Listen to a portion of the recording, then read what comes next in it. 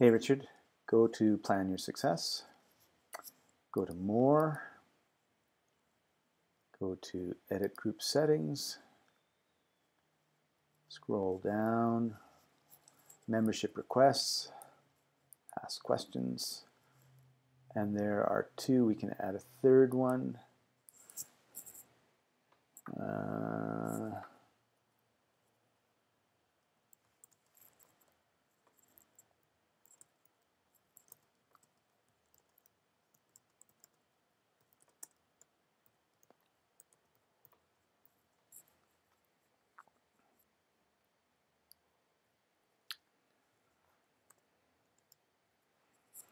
save, which means also you can change this whenever you want.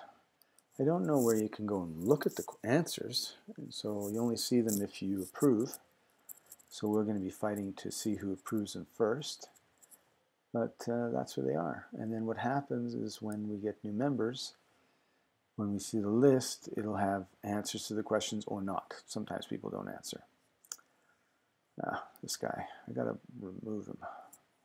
Ah. All right, so yeah, that was good today. Talk to you soon. Bye.